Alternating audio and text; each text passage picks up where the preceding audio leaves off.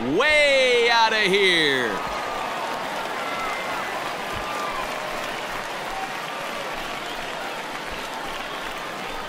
So a two-run shot to left center and even 30 home runs on the year as they have taken the lead. It's three to one.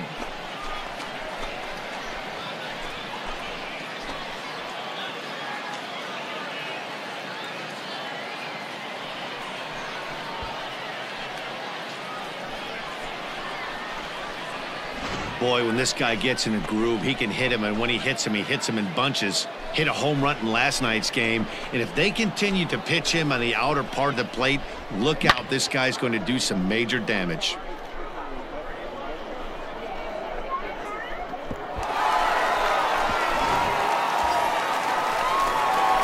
Ready to take his hacks again, Eric Frost, as he'll look to follow up the two-run homer he launched over the wall last time.